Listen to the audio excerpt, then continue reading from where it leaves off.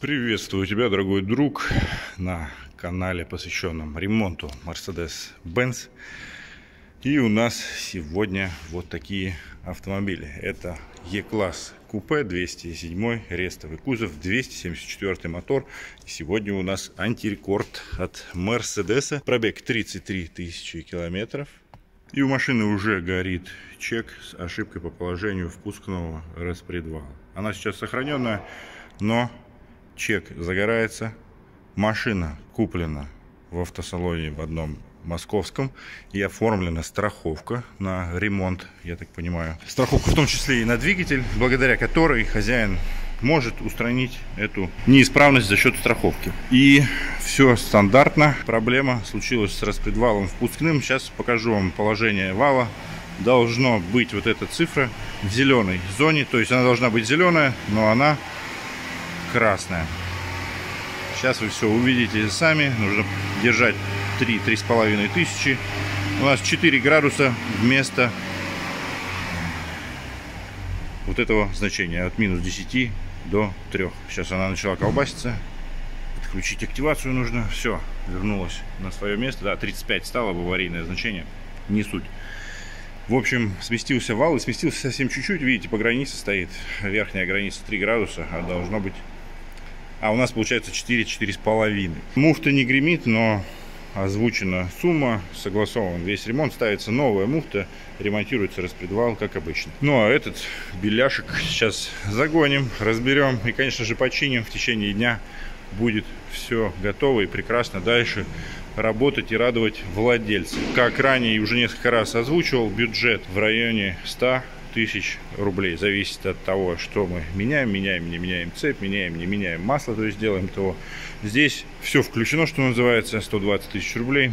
Меняем муфту, ремонтируем вал и делаем ТО, то есть меняем масло в моторе, меняем фильтры по необходимости, естественно. Если они будут чистые, конечно же, оставлю их и будет все дальше это прекрасно работать. Еще раз удивимся все вместе пробегу в 33 тысячи километров. Кто не верит, я сейчас зайду в разные блоки, покажу вам через старуху. Я сто процентов уверен, это уже не первая машина с таким пробегом, у которой это случается. Обязательно досмотрите видео до конца, я расскажу, из-за чего же это на них происходит, такая проблемка свою естественную версию, вы можете обязательно в комментарии написать свою версию. Ну что ж, загоняем эту аппаратуру, делаем и выдаем на следующий день владельцу. И еще один немаловажный момент. Гарантия 100 тысяч километров дается на установленные запчасти и на работу. При условии замены масла раз в год, либо раз в 10 тысяч километров в нашем сервисе. Здесь 100% будет приезжать машина раз в год, потому что такие автомобили обычно ездят очень-очень мало. За год они обычно не наезжают 10 тысяч километров. Ну и эта машина также куплена, я так понимаю, в подарок девушке, которой этот автомобиль очень-очень понравился. И дальше, я уверен, будет только радовать. Не повезло немножко владельцу, немножко не вовремя сместился этот вал окончательно и, соответственно, начала выбиваться ошибка. Ошибка и чек этот будет гореть при ускорении, при длительной езде под нагрузкой, когда вал должен повернуться в определенное положение и как раз он повернутый в определенное положение, докрученный, встает в красную зону по углам и выскакивает ошибка и загорается чек. Вот и все. Загоняем, разбираем и покажу, что там у нас внутри на таком мизерном пробеге. Я удивляюсь, 30 тысяч километров и вал приехал. Как и сказал, еще раз повторю, причины назову в конце видео, из-за чего это происходит. Вам по пробегу информацию нужно зайти в электронный замок. Это, конечно же, не панацея, ибо скрутить можно везде, но, тем не менее, не всегда это получается. Здесь 33 тысячи. Дальше мы зайдем в блок ESP. Также действительные значения – предупреждение падения давления в шинах. Вот такие вот пробеги, 18 тысяч километров. И далее мы зайдем в комбинацию приборов, где записаны все сервисы автомобиля, действительные значения, память их обслуживания. Посмотрим, 4 ТО было у этого автомобиля. Все стандартно, за 4 раз 15 почти тысяч менялось масла нет. Получается 12, потом 15 машин, судя по всему, год стояло. Хотя дневных циклов очень и очень много было пропущено. 1600 это 4 года почти машина стояла и спустя это сделали ТО. Потом 2000 вообще очень много машин стояло. Очень много стояло. Вот такая вот история обслуживания. Не могу не поделиться с вами такой вот красотой 30 тысяч километров пробег у данного двигателя. Делаем ГРМ. Вот такая вот красотища. Аккуратно все по герметику. Также и сделаем, соберем. Все будет прекрасно. Не могу просто не поделиться. Зашибата. Как же кайфово и приятно разбирать практически новый мотор. Кто еще этого не делал, советую попробовать. Вон колодцы, как новые, свечи, похоже, новые поставлены. Вот такая красота. Дальше продолжаем разбирать. Примерно полчаса еще осталось и взорвем, что называется, клапанку. И все будет видно невооруженным взглядом. Погнали! Ну что, вот он наш злосчастный вал, точнее импульсный диск на этом распределительном валу. Сейчас его на место поставим, зафиксируем тик сваркой, и все это прекрасно дальше поедет. Как и уже и говорил много раз, буквально вот они миллиметры, и этого достаточно для того, чтобы выскочила ошибка по положению впускного распредвала.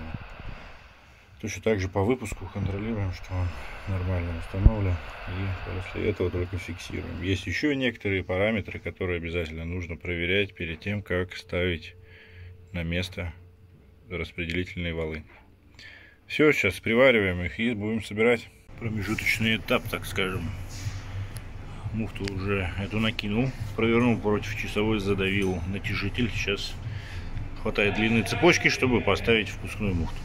Ну и импульсный диск, естественно, на своем месте, там, где он должен быть, и зафиксирован уже, что называется, навеки вечные. Ну что, конечно же, вам интересно. Первый запуск после ремонта. И снова вам покажу этот чудный пробег. 33 тысячи километров. Какой же классный салон, блин. Он только сейчас разглядываю в офигенном состоянии.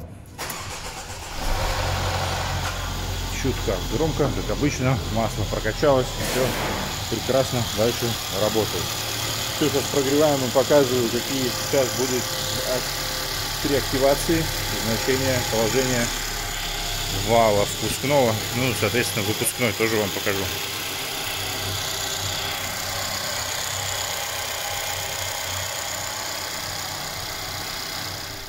Так, все, аппаратура готова. 33 тысячи километров пробег. Mercedes, 207 кузов, 13 год. Чек уже сам потух. Запускается идеально, быстро, без каких-либо проблем. Здесь ошибки у нас висят, потому что делал активацию, висит верхняя ошибка P001464, P001685 ошибка висит, потому что была проблемка с распредвалом впускным. Его мы восстановили, естественно, как я и показал. Теперь все будет прекрасно работать. Еще раз напомню, 100 тысяч километров гарантия без ограничения по времени. Нужно только у нас менять масло каждые 10 тысяч километров, либо один раз в год. Активации вам показать, что ли? Да, надо только выгнать машину, прогреть ее. И после этого она разрешит машина сделать активации. Температура должна быть больше 80 градусов. Ждем немножко. Можно сказать, что моментально прогрелся. Достигли нужной температуры. Моментально он прогрелся, потому что работает термостат и помпа, естественно, перекрывает на маленький контур. 3000 оборотов, делаем активацию.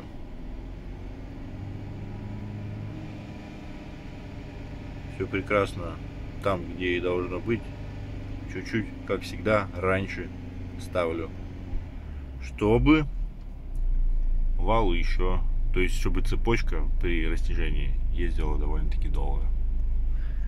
И мы смотрим выпуск теперь.